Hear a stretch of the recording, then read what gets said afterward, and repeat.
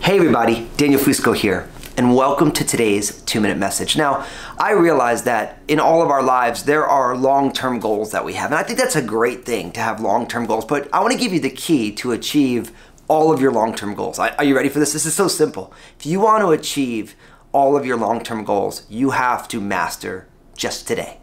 Here's the deal the long term goal that you have, in order for it to happen, you have to string together a number of seasons of all the things that you're trying to accomplish heading in the right direction. And in order to have a, a, a, season of, of this thing to happen so that you really move the needle, you are, a season is just a collection of a bunch of days.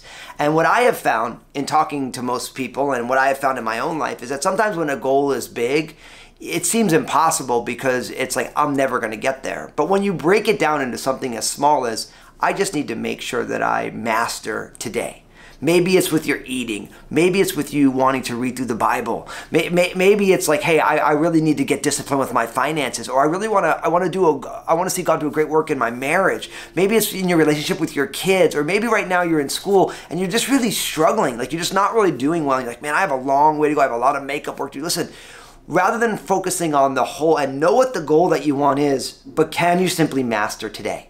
Can you get what you need to get done today. Just keep chipping away, chipping away. And if you can string together enough good days, and, and, maybe you haven't done well at all, maybe you get five out of seven days done right. I guarantee you, if you can string together weeks and weeks of four out of seven days, five out of seven days, six out of seven days on, on trying to grow, I guarantee you that you'll look back, you'll be like, I can't believe how much I've grown. I'm so much closer to the goal that I want. And you just keep chipping away. So rather than getting overwhelmed by the big goal, I want you to break it down to something small, just mastering today. Now, what I do. I want you to share this video because I really want to encourage everybody to break down those big goals into manageable pieces. And in the comment section, what are you working on right now? What's one of your long-term goals that you're just going to start chipping away at a little by little today? And we're going to be able to be excited and pray for one another on the journeys that we're on.